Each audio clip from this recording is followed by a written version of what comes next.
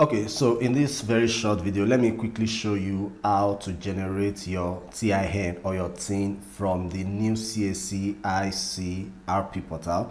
Okay, so let's assume that you completed your business name registration or your company registration or your incorporated trustees registration. Usually, CAC is supposed to impute or to generate a TIN for you. Of course, that TIN you might have to go and do a pro Promax for the TIN before you can use it to do certain things, but at least you're going to get your TIN from CAC. So, what happens if you get your certificate out and then there is no TIN in it? What do you do? All right, it's very simple. But meanwhile, before I show you what to do, I already recorded a complete video guide on how to carry out your business name registration in the new CAC upgraded portal.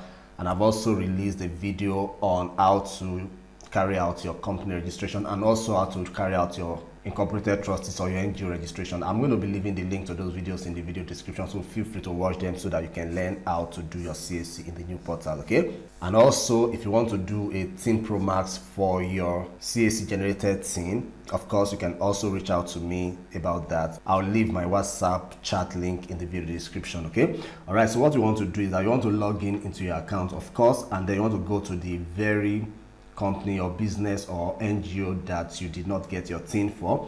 Once you identify it, what you want to do is that you want to come to this same action button that you used when you were downloading your document okay so once you click on the drop down action arrow you're going to come to this last one that says view forward slash generating okay you want to click on that now when you click on it sometimes you might try the first the second time and it may not go. If it happens like that sometimes you might have to just log out wait for a while and come back to do it again. It might be because the network is not just good at that time okay? And the second thing that could happen is that when you generate your TIN normally you're supposed to be able to re-download another certificate so that your TIN can be printed on the certificate. Sometimes it will not print on it. If it does so again log out and come back in some other times you can just see a blank certificate okay? If that happens again log out or try it again one two three times you don't worry it's going to work out fine okay?